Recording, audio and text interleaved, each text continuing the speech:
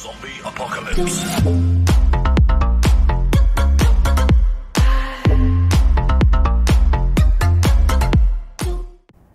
Ein neuer Einsatz für die Berufsfeuerwehr Wassel. Wie um Himmels Willen geht eigentlich hier das Licht an? Also jedes Mal, wenn es dunkel wird draußen, tappe ich hier wirklich im Dunkeln. Also das ist wirklich nicht schön. Ich habe mich schon so oft gestoßen, also das zählt dann natürlich unter Arbeitsunfall. Was um Himmels Willen machen wir falsch? Müssen wir so viel Energie sparen bzw. Strom sparen? Und jetzt nehmen sie uns schon das Licht weg? Ich weiß es nicht. Keine Ahnung, Leute. Aber wir sitzen da gleich im Fahrzeug mit Licht, ne? Und wir fahren gleich mal rüber zu unserem neuen Einsatz hier im LS17 mit der Feuerwehrmod. Ich begrüße euch, liebe Zuschauer. Einsatz, Stichwort mitten in der Nacht, lautet Verkehrsunfall in Wassel. Oh Gott. Soll anscheinend ganz schön schwer gewesen sein. Es haben sich viele Nachbarn bei uns gemeldet, beziehungsweise über die Leitstelle, über die 112. Und wir rücken erstmal aus mit den HLF und dann gucken wir mal genau, was da eigentlich jetzt vorgefallen ist. Und immer noch sind hier viele, viele Leute unterwegs. Ich fasse es gar nicht. Was hier zusammenkommt an Fußgänger, das ist wirklich irrsinnig. Ne? Irrsinnig, wahnsinnig. Egal zu welcher Uhrzeit. Also sind immer wieder Leute unterwegs. Krass. So.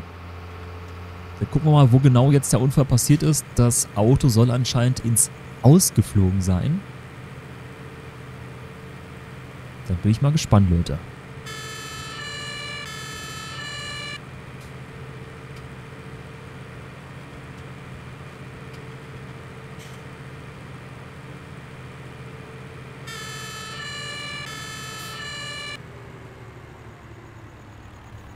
Oh, ich sehe gerade, warte mal, Achtung. Ich fahre jetzt mal nicht zu nah ran. Da unten ist eine Ölspur. Eine Ölspur. eine Ölspur. So, wir machen mal Heckwarne an. So. So, hinter uns natürlich der Verkehr. Ja, den machen wir gleich mal aus, würde ich sagen, soweit es geht. Ähm, denn ich mag das überhaupt nicht. Das ist alles schön und gut, ja, aber äh, ich mag das überhaupt nicht, wenn der Verkehr hier an ist. Den machen wir gleich mal aus und dann gucken wir mal. So, die Ölspur zieht sich schön lang. Hier ist der PKW. Ach du Scheiße. Hallo? Hallo? Können Sie, können Sie mich hören? Die, die Feuerwehr? Hallo? Person nicht ansprechbar. Ach du meine Güte. Haben Sie uns angerufen?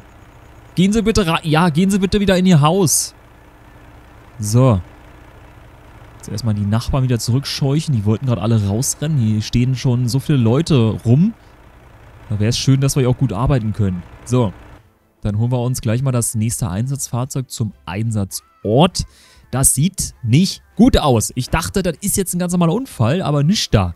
Der ist ja rauskatapultiert worden, die Person. Der liegt jetzt da vor dem PKW auf dem Boden. Dem müssen wir jetzt erstmal ganz, ganz schnell da helfen. Also das sieht wirklich ganz schön gefährlich aus. Was war denn das gerade? Was war hier denn los gerade? Bin ich da am Tor hängen geblieben? Mann. Los geht's. RW mit Kran rückt aus. Wir fahren zur Unfallstelle.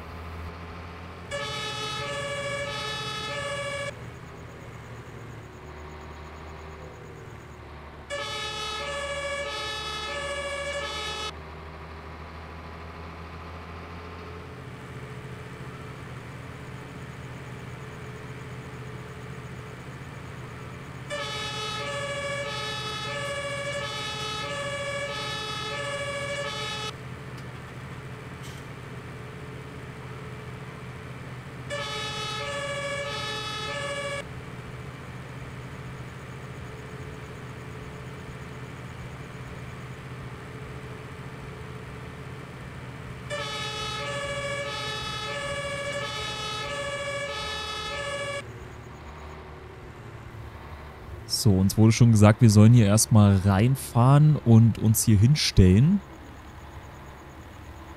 So weit wie es geht ans Fahrzeug ran, damit wir hier mit den Rüstwagen arbeiten können. Jetzt muss ich bloß aufpassen auf die Ölspur, weil die hat sich ganz schön verteilt hier. Sieht so aus, als ob der irgendwie von hinten gekommen ist mit seinem PKW und dann hier volle Möhre ins Haus gerast ist. So. Das haben wir. Dann haben wir erstmal hier... So, die Tafel. Warte mal, die machen wir mal auf. Jetzt habe ich alles angemacht, ich Dussel. So, stopp.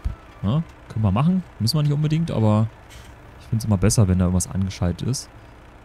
Wir stehen jetzt hier mitten in der Ecke und... Was soll er da noch kommen? Nichts. Ein Fußgänger. Ja, egal. Ne? Ich finde das cool, wenn man das Ding aufklappt. So. Umfeldbeleuchtung. Ganz, ganz wichtig. Dann ist der Rüstwagen erstmal aufgebaut. Ich stelle mich jetzt gleich mal hier hin. Warte mal, ich äh, gehe mal gleich auf die andere Seite. Ich mache da gleich mal auf, damit wir auch hier gut arbeiten können. Dass wir hier gut ans Fahrzeug rankommen natürlich, weil das ist auch ganz schön hoch, ne, ganz schön groß. Finde ich halt ein bisschen schade, dass hier keine Trittbretter sind. Also da musst du ja wirklich eine Leiter ranstellen, ne, für die Kleinen unter uns, damit man da ordentlich rankommt. So ist es aber erstmal in Ordnung. Die Person liegt da immer noch. Als nächstes kommt dann erstmal der Rettungswagen zum Einsatz. Zeitgleich auch mit dem NEF. Der Notarzt kommt gleich mit, denn das sieht aktuell wirklich nicht gut aus. Person nicht ansprechbar, hat aktuell auch einen sehr, sehr, sehr niedrigen Puls. Die Kollegen kümmern sich gerade um die verletzte Person. Die Vitalwerte werden gerade abgerufen. Das sieht nicht gut aus. Der hat sich gerade bei diesem Unfall ganz schöne Verletzungen äh, zugezogen. Ich hoffe, der Notarzt kann da jetzt schnell helfen. Wir rücken sofort aus. NEF, RTW sind dann erstmal auf dem Weg. Und das ist schon das hellste Licht, ne? Mehr geht gar nicht. Und dann lassen wir das mal so. Dann gucken wir mal, dass wir jetzt da gut und sicher ankommen. Und dann gehen wir natürlich alles bei diesem Einsatz, um die Person da zu helfen.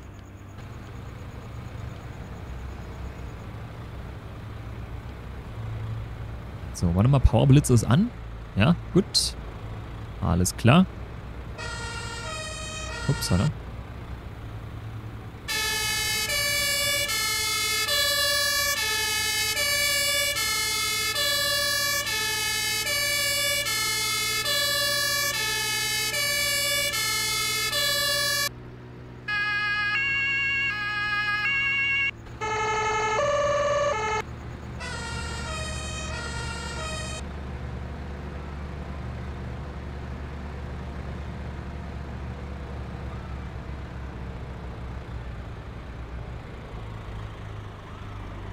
So, jetzt erstmal kurze Nachfrage. Wo sollen wir uns hinstellen?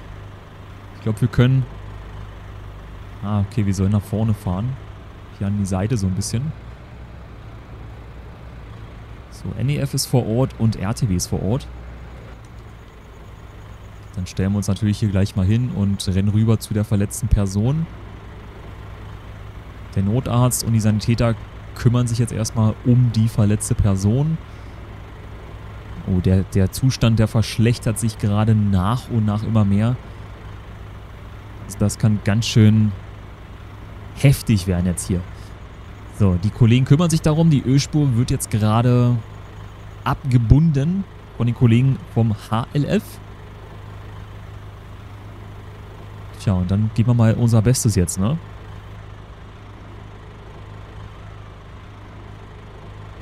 Hier ist natürlich aktuell eine Aufruhr vom Feinsten. Also wie gesagt, alle Nachbarn, alle Leute, die gucken jetzt erstmal raus, was hier los ist. Hier laufen sogar einfach welche durch, durch den Einsatzort durch. Ne, was man eben halt so macht, wenn man äh, keine Zeit hat. Dann macht man das eben so und rennt hier einfach durch. Ne? Ich, ich, ich mag es einfach nicht. Die Feuerwehr ist da und so weiter ne, mit den Kollegen und trotzdem interessiert es den 0,0000 Prozent. Und dann laufen sie einfach hier durch die Einsatzstelle. Also das muss wirklich nicht sein. Ne? Aber natürlich, ganz klassisch, die Gaffer sind natürlich wieder mit am Stissel. Die haben sich hier aufgestellt, sind kilometerweit mit dem Rad gefahren, mit dem Fahrrad und gucken sich genau alles an, was hier passiert ist. Also das muss man sich mal überlegen, ne? dass die sich hier so eine Arbeit machen, um wirklich alles mitnehmen zu können, alles zu dokumentieren, was hier genau gerade abgeht. Das ist wahnsinnig, wirklich. So, wir haben jetzt hier erstmal die Trage aus dem Fahrzeug geholt. Die wurde hier gleich mitgenommen zur Unfallstelle. Und der Notarzt meinte schon, also sollten wir jetzt die Person in den RTW verlagern, könnte es sein, dass wir die Person auf dem Weg ins Krankenhaus verlieren könnten. Also wird auf jeden Fall, jetzt muss ich mal ganz kurz, warte mal, jetzt wird auf jeden Fall ein Rettungshelikopter angefordert. Ohne den funktioniert hier ansonsten gar nichts. Und der ist auch schon alarmiert. Der ist schon fast auf den Weg. Ich werde den jetzt auch gleich fliegen. Ich, ich kann das bloß da hinlegen, den TH-Satz. Dann müssen wir das eben so probieren. So, was ich aber noch machen wollte, äh, ganz, ganz, ganz wichtig, ich brauche die Pol vor Ort. Ganz, ganz wichtig. Die müssen sich hier wirklich um alle kümmern. Und bevor ich jetzt den Rettungshelikopter hole, werden wir jetzt mal ein bisschen den Einsatzort absichern. Ne? Also das äh, müssen wir auf jeden Fall jetzt machen. So. Dann gucken wir hier jetzt erstmal ganz kurz. Hier haben wir erstmal alles aktiviert. Umfeldbeleuchtung ist an. Tür kann zu. Dann holen wir uns jetzt noch ein Fahrzeug, dass wir hier ordentlich Licht machen können am Einsatzort. Gucke ich mal, was wir da jetzt auf jeden Fall mitnehmen können. Was haben wir denn hier alles noch? DLK. Könnte theoretisch auch funktionieren, ne? dass wir da oben irgendwie Licht aufbauen. Ich glaube, das machen wir auch.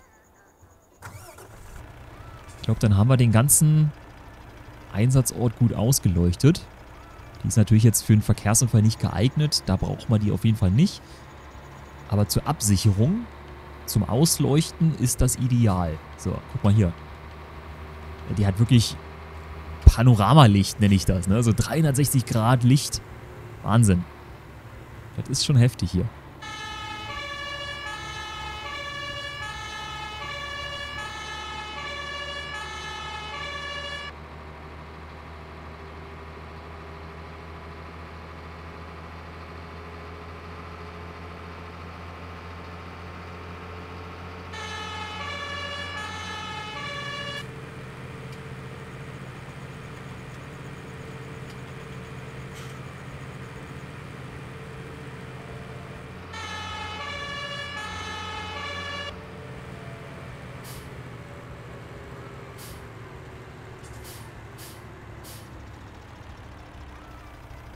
So.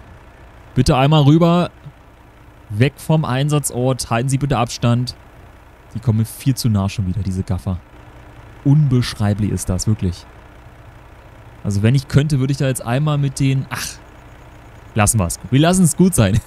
ich reg mich schon wieder viel zu krass darüber auf. Lass die einfach machen. Sollen sie schauen, die Polizei ist da, die kümmern sich drum. Das ist jetzt nicht mein Brot hier. Dann werden wir jetzt erstmal das Licht einschalten. Ich glaube, das war schon alles. So. So, dann können wir nämlich hier mit den mit dem Korb von der DLK das alles so ein bisschen hier von oben ausleuchten. So. Alles an? Alles an. Gut. Da haben wir nämlich auch Licht oben. Und das können wir jetzt dafür nehmen, um den Landeplatz hier gut erkennbar zu machen. So. Die Einsatzstelle ist sowieso ausgeleuchtet vom Rüstwagen. Die hat auch eine große Umfeldbeleuchtung dran. Das ist gut. Wunderbar. Und dann gucke ich mal, ähm, was wir da jetzt hinstellen können zum Markieren. Ich würde sagen, Pylone, Leitkegel mit so einem Blitzer drauf. Ne? Hier kann der Helikopter dann gut landen, das sieht er dann auch von oben. Obwohl, der sieht die Einsatzfahrzeuge so oder so. Ne? Das Blaulicht, das siehst du kilometerweit. Gerade auch, wenn er von oben geflogen kommt. Ne? Das äh, sollten die auf jeden Fall rechtzeitig sehen können. Dann gucke ich mal nach ähm, einen Lichtmast, dass wir hier noch was aufbauen können. Dass wir auch hier das auf der anderen Seite noch gut ausleuchten können. Und dann sollte das eigentlich auch reichen. Also mehr muss ich denn hier nicht machen, denn haben wir erstmal alles, alles aufgebaut, was wir brauchen und mehr müssen wir dann auch nicht machen. Jetzt muss ich bloß gucken, wo das alles hin ist. Ach, hier hinten war der. Meine Güte. So, hier oben kann man den nicht platzieren, ne? Das geht nicht. Das würde kollidieren. Schade. Ich dachte, man kann das da oben platzieren. Ne, geht nicht. Sowieso ein bisschen schwierig hier irgendwie, habe ich das Gefühl.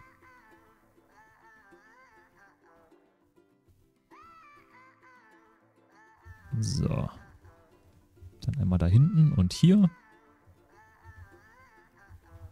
Und dann am besten nochmal drüben beim Nachbarn, ne, dass wir die Bude auch ausgeleuchtet haben. Dann sparen die auch wieder ein bisschen Strom. Und ich glaube, das sollte dann hier ausreichen. Da hinten brauche ich jetzt nichts weiter. So, Landeplatz ist ausgeleuchtet. Der Rettungshelikopter hat Starterlaubnis, darf dann erstmal in die Luft gehen.